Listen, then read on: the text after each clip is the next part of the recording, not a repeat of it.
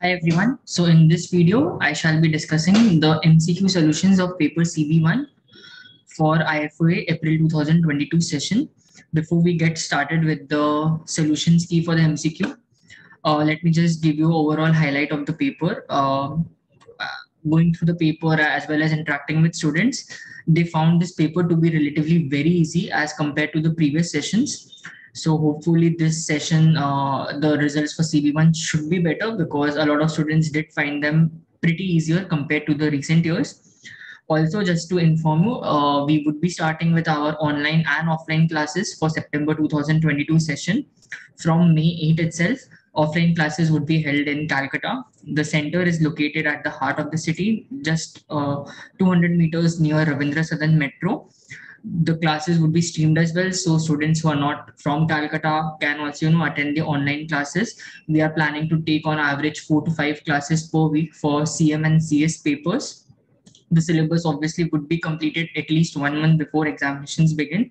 So we are targeting to complete the syllabus latest by august 8 note that uh, video recording shall also be available for so for students who want to self-pace their course and might not be able to attend the online or the offline classes can take that as well. And they have the option to attend these classes uh, in an online or offline mode as and when convenient for them as well. Do note that we just have a single batch each term for each paper and the admissions are on first come first serve basis and we have a maximum batch size. So we do not intake uh, right now more than you know 50 new intakes for each paper each session.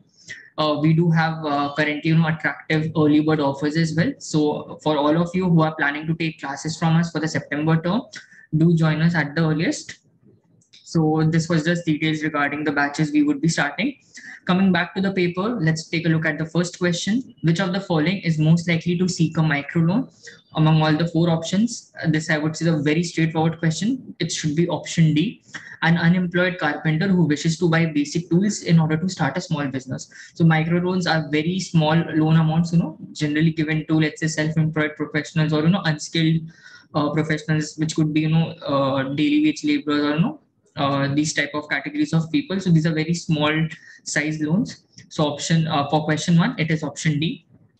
Question two, which of the following statements is true of an interest rate swap? So among all the options, option C is the correct one. The parties to the swap effectively make offsetting payments to one another for the swap's duration. So what happens is basically one of them would be paying uh, fixed interest, the other would be paying variable interest rate, and a part of it would be, you know, keep setting, keep getting offset. Next question three, a quoted company is making a rights issue. Which of the following statements is correct? So of all of these, it's actually option D. The share price could increase after the issue. Why others might not be right is first one, shareholders are required to exercise their rights. That is not true. Not everyone has to exercise their rights. They can sell their you know rights as well in case they do not want to exercise it Second, B is the new shares could be issued at a premium to the present market price. That uh, does not really happen because in case of coming up with a rights issue, the prices are generally lower than the market price because if they're then the higher than the market price, think from the point of view of investor. Why would I want to go and buy from the company at a higher price? I could directly buy it for a lower price available from the market as well, right? So whenever rights issue come up, they are generally at a discount to the current market price. So B is also not correct. Option C, the new issue shares could be issued at a price that is less than the nominal value. So again, that is something which is not allowed. Uh, the new shares cannot be issued at a price, you know, which is less than nominal or the face value. Next question four, a company is obtaining a stock exchange quotation through an offer for sale by tender. Which of the following statements is correct? So if you would remember that in an offer for sale by tender, the investors come and they come up with their prices and the quantities at which they you know want to buy the shares after all such uh, offers have been made the company selects one price uh, say the maximum price it can uh, to you know offer the total number of shares it is planning to or that price could be a bit lower as well in case you know they want a large number of uh, applicants you know to be considered so the point is key once the offers or the tenders for the shares have been made ultimately all shares are allotted at a single price only so this option four is nothing but uh, question four is nothing but option B. All shares will be finally issued at the same price. Moving forward to question five, a company offers an automatic dividend reinvestment plan. Which of the following statements is true with regard to the shareholders who are enrolled in this plan? So this is option C. The new shares will be acquired at a discount. Okay.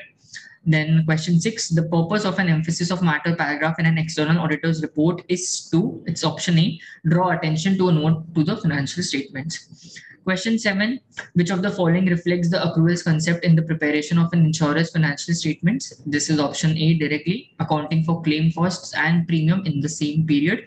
B is not correct because you cannot use pessimistic assumptions. You need to use uh, uh, best estimate assumptions. Okay, for the calculation of these or it could be slightly on the prudent side but you cannot directly you know, let's say use pessimistic assumptions that would be wrong c excluding potential claims that cannot be measured objectively that again does not make sense because that could be major liability for an insurer so you just cannot ignore it just because you cannot measure it objectively d recognizing estimated cost of setting recent claims as expenses that is also no, not i would say correct these should be held let's in the form of reserves if you know you want to settle recent claims which have been incurred. So it's option A.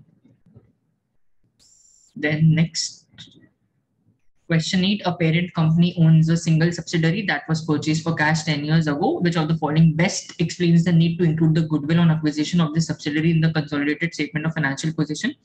And the answer is, I would say C, the goodwill was paid for and must be included or the statement would not balance.